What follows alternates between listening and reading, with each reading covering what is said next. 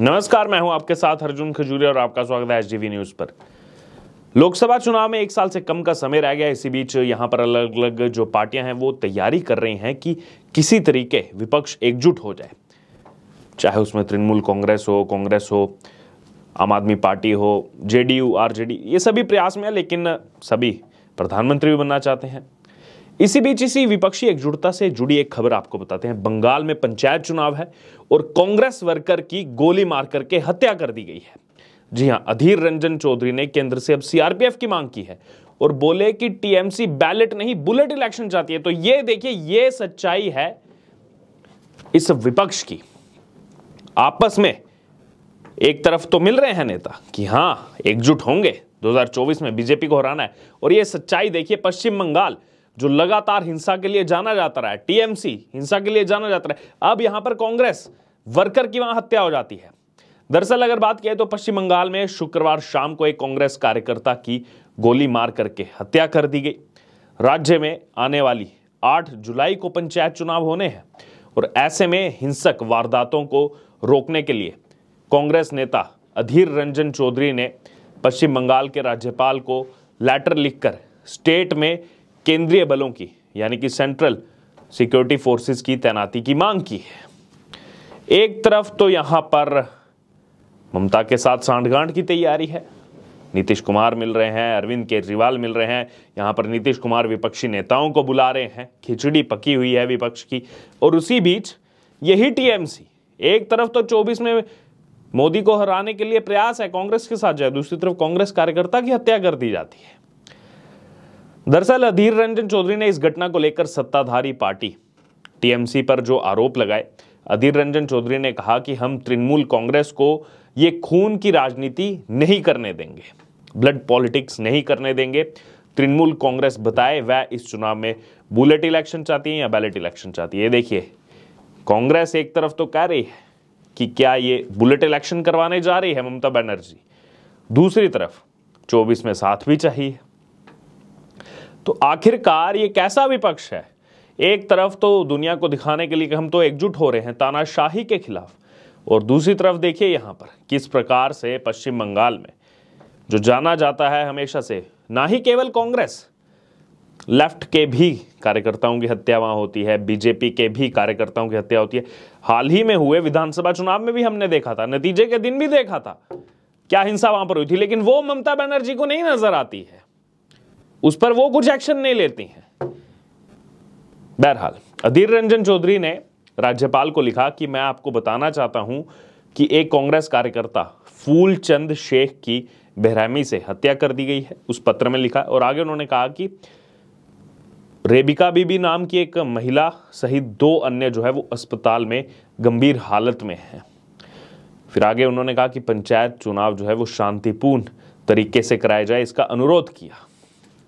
तो यहाँ पर पीसफुल कैसे इलेक्शन हो, इसका अनुरोध कांग्रेस पार्टी ने किया, अधीर रंजन चौधरी ने किया, बीजेपी की भी कहीं ना कहीं यही मांग है। क्योंकि सब जानते हैं कि पश्चिम बंगाल में किस प्रकार से केंद्रीय सुरक्षा बलों पर भी अटैक किया जाता है, और सबसे ज़्यादा वहाँ पर जो नाम किसी का सामने आता है, वो टीएमसी का आता है। तृणमूल कांग्रेस का नाम सामने आता है, ममता बनर्जी का। केरल स्टोरी को बैन करने की बहुत जल्दी होती है आपको, लेकिन ममता दीदी यहाँ पर संभाल नहीं पाते हैं आप। स्टेट को।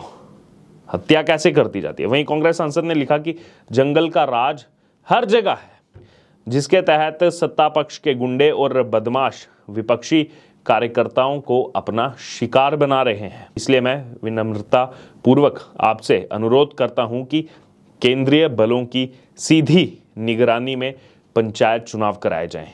सत्ता पक्ष के गुंडे, विपक्षी कार्यकर्ताओं को अपना निशाना बना रहे हैं।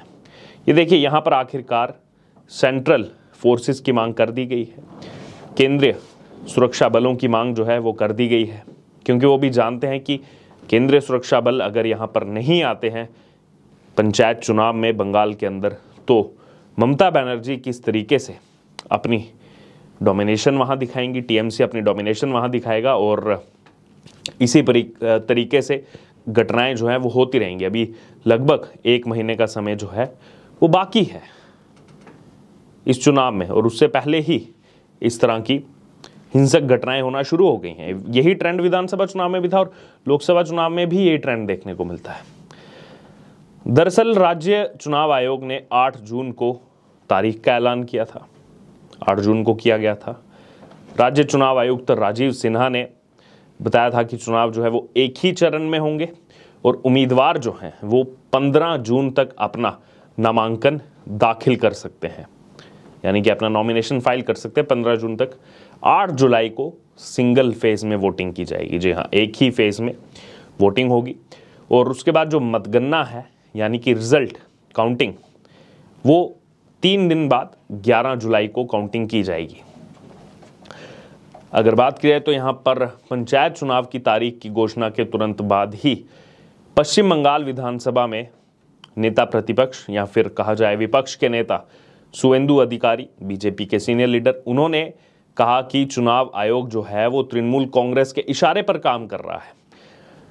और ये पहली बार ऐसा आरोप नहीं लगा है। पहले भी कई बार, और ना ही केवल बीजेपी, तमाम जो वहाँ दल लड़ते हैं वो यही कहते हैं कि जो यहाँ का चुनाव आयोग है, वो ममता बनर्जी के इशारे पर जो है वहाँ पर काम करता है। वोटिंग की बात की तो यहाँ पर सही वोटिंग नहीं होती है। वोटिंग को लेकर भी काफ़ी, यहाँ पर अगर बात की जाए तो जो सक्रियता है वो नहीं बरती जाती। यहाँ पर जो पारदर्शिता है वो नहीं बरती जाती। वहीं अगर बात की जाए तो सुवेंदु अधिकारी ने पहले जो है इसी मसले को लेकर के ट्विटर पर लिखा था कि पश्चिम बंगाल में लोकतंत्र की हत्या हुई है। पहली बार जो है ब्लॉक स्तर, ज़िला स्तर या फिर राज्य स्तर पर एक भी सर्वदलीय बैठक आयोजित किए बिना पंचायत चुनाव की एक तरफा घोषणा की गई है। तमाम आरोप उन्होंने टीएमसी पर लगाए थे। वहीं एक चरण के चुनाव के लिए जो है सुरक्षा व्यवस्था पर कोई चर्चा नहीं हुई, ये भी उन्होंने बात की थी और वही सुरक्षा व्यवस्था की आज पोल खुल रही है। आगे उन्होंने कहा था कि नामांकन दाखिल करने के लिए आवंटित समय अवधि 9 जून से शुरू हो रही है और शुक्रवार 15 जून जो है अंतिम तिथि है। 10 और 11 जून को वीकेंड है, ये उन्होंने ज़िक्र किया था। वीकेंड है और कोई भी ऑफिशियल काम उस दिन नहीं हो सकता वीकेंड के दिन। तो यहाँ पर समय भी जो है, वो कम है। बहरहाल, यहाँ पर अगर बात की जाए तो बीजेपी तो तृणमूल कांग्रेस के अगेंस्ट बोलती थी। लेकिन अब कांग्रेस भी जो है, क्योंकि वहाँ पर चुनाव है और कार्यकर्ता की हत्या हो जाना, और सब जानते हैं बंगाल की खून की राजनीति को, हिंसक राजनीति को वहाँ पर कितनी हत्याएँ होती हैं, लेकिन उस पर यह विपक्ष भी चुप रहता है। कुछ नहीं बोलता उस पर, जो पश्चिम बंगाल में होता है, वहाँ की पॉलिटिक्स में होता है। लेकिन आज कांग्रेस को याद आ रही है क्योंकि अपने कार्यकर्ता की हत्या हुई है। बहरहाल, अब इस पर आपका क्या कहना है? हिंसा की खबरें आना शुरू हो गई हैं। इस पंचायत चुनाव को लेकर के क्यास भी लगाए जा रहे थे राजनीतिक विश्लेषकों की तरफ़ से कि पश्चिम बंगाल का चुनाव है। वहाँ पर जो पार्टियों ने इस तरीके से अपने कार्यकर्ताओं को जो खुली छूट दे रखी है, खासतौर पर टीएमसी क्योंकि सत्ता में है तो इसीलिए वहाँ पर वो किसी की भी हत्या करने पर उतारू हो जाते हैं और ऐसी पहले भी खबरें आई थी, अब भी सामने आई है, इस पर आपका क्या कहना है, आपकी क्या राय है, आप ज़रूर हमारे साथ कमेंट बॉक्स में शेयर करें, क्योंकि 24 लोकसभा चुनाव से पहले और 23 जून को पटना में होने वाली विपक्ष की बैठक से पहले ये कहीं ना कहीं एक बड़ा मैसेज सामने आया है कि अभी से, अभी यहाँ पर विपक्ष एकजुट होने की तैयारी में ही था कि उससे पहले ही फूट पड़ना शुरू होगी आपकी जो भी राय हो, हमारे साथ कमेंट बॉक्स में शेयर करो, इससे जुड़े तमाम अपडेट के लिए बने रही हमारे साथ। धन्यवाद।